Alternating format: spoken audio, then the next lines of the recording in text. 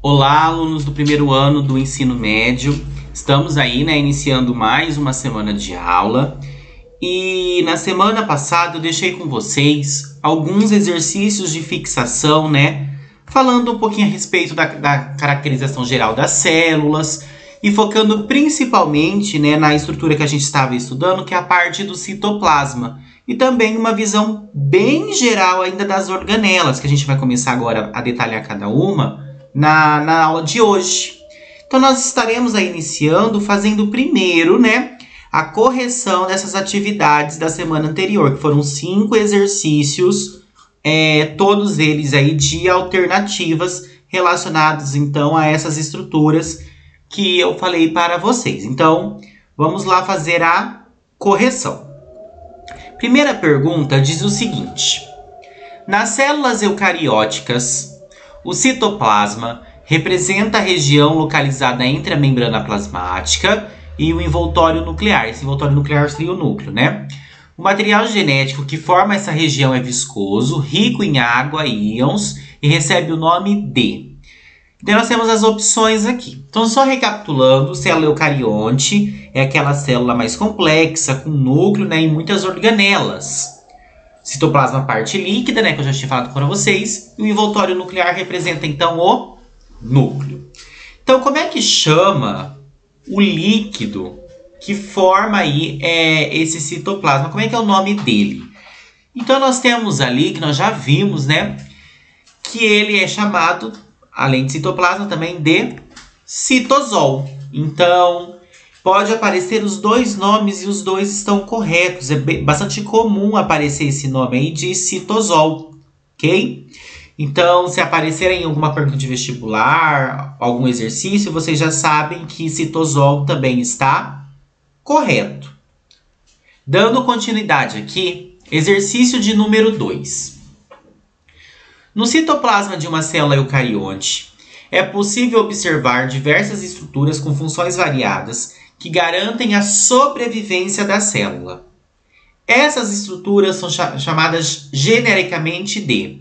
Eu não quero o nome de uma estrutura específica, tá? Tipo ribossomo, retículo. Não é isso.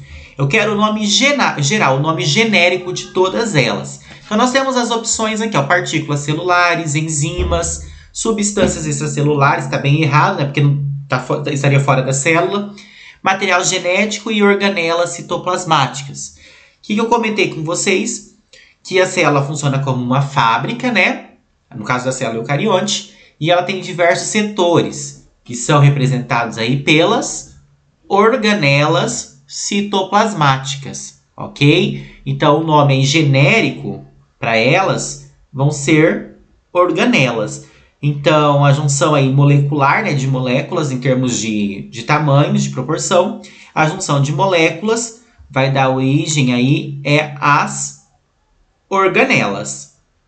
Pergunta de número 3, da PUC do Rio Grande do Sul.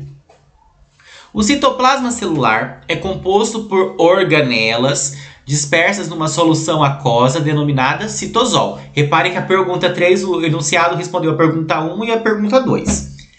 A água, portanto, tem um papel fundamental na célula.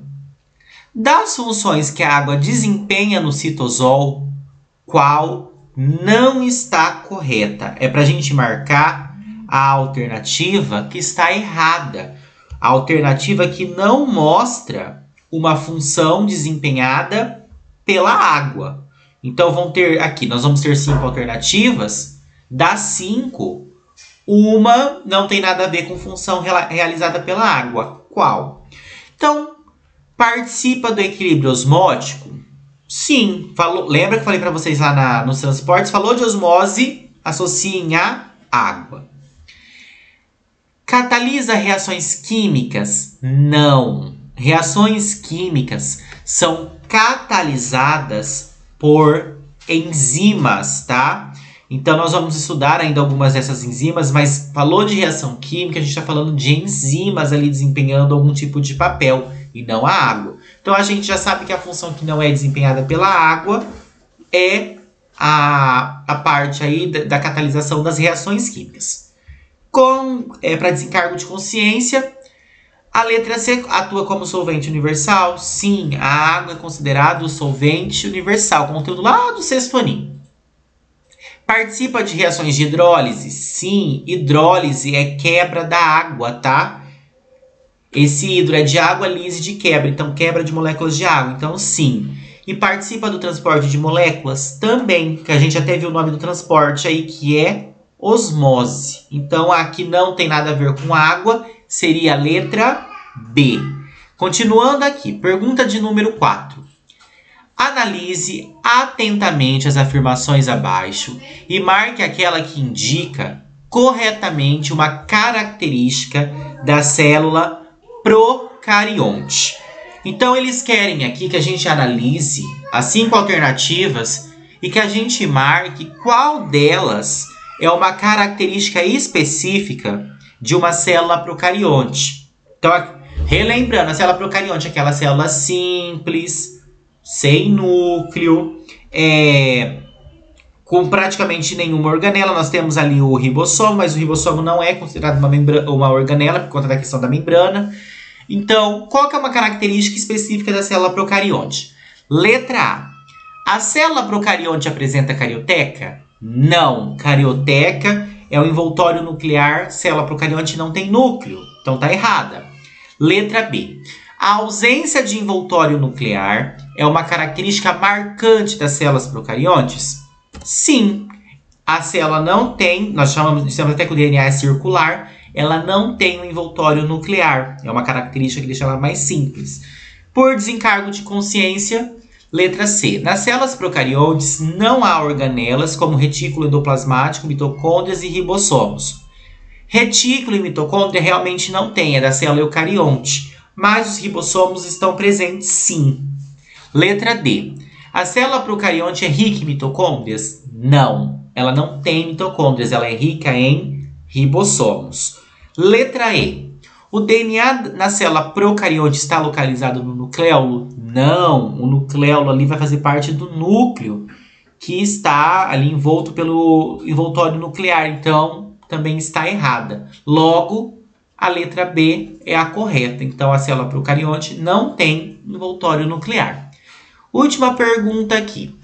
Um estudante de biologia estava analisando alguns esquemas de células e percebeu a presença de uma estrutura capaz de realizar a síntese de proteínas na célula procarionte. Que estrutura é essa?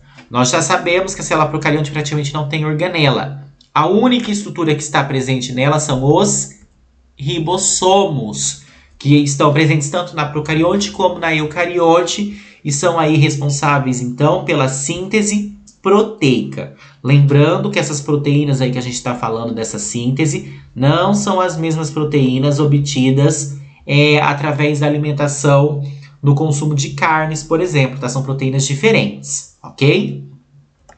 Então eu espero que vocês tenham acertado né, atividades dessa semana. Caso ainda fique alguma dúvida, vocês podem estar entrando em contato comigo no particular que eu estarei atendendo a cada um de vocês. Do mais, tenha uma excelente, uma excelente semana, bons estudos e até logo. Tchau, tchau.